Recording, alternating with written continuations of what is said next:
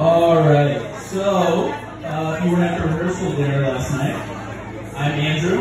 I've known Trip since the first grade, and I went to the College of Charleston with both of them. Now, if you do know me, this will come as no surprise. I have some disclaimers.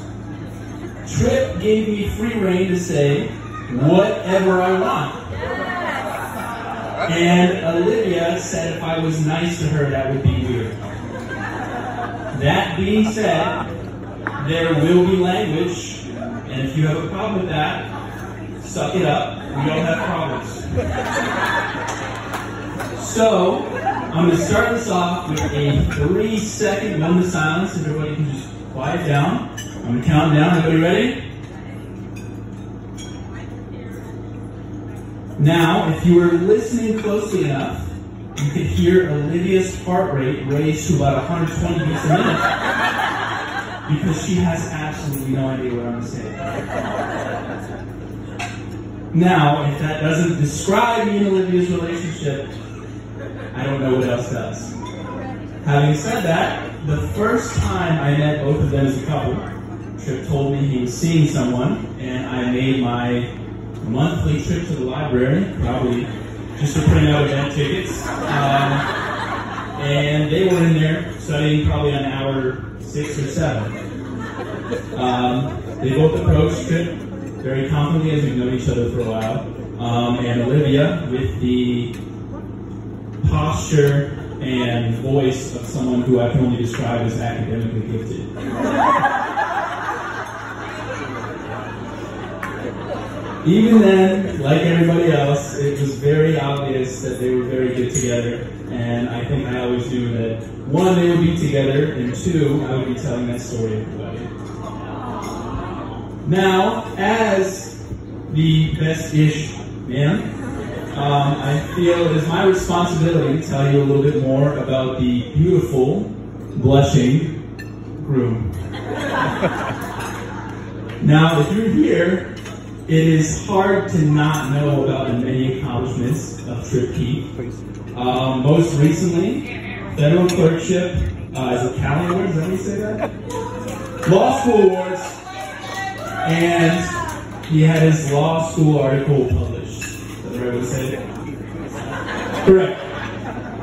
Um, but, so essentially everything Trip touches seems to be a success. So there is still hope for most of you up met this evening. But the, the largest accomplishment, I think, for Trip is having someone agree to marry him after watching him eat something without utensils.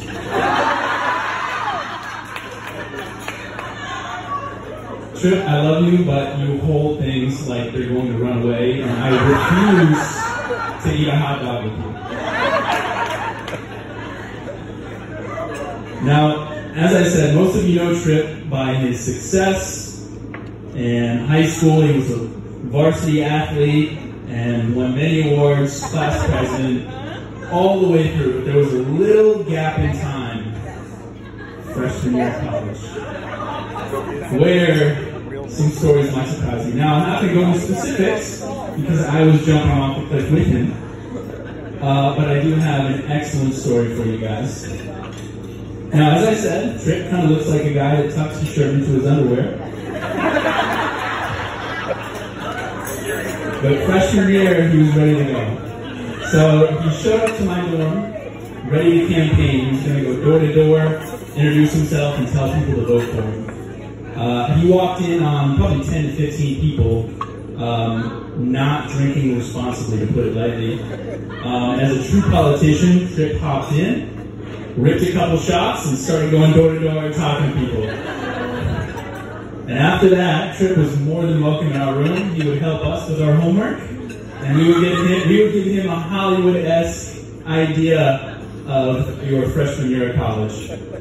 Now, for those of you who don't know, when Trip drinks, there are three things that happen. Trip talks in the third person. He changes his middle name. And he has as much confidence as he absolutely deserves, which for the normal man would be pure arrogance. So in the course of a couple ounces of liquid, Jesse Lee Keith III turns into Trip MF Keith.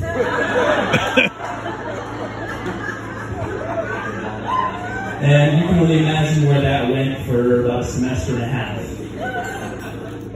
So, I love both of you guys equally, and that's a big one for you, Olivia. You're in that hard way. But here's to Trip, motherfucking Keith.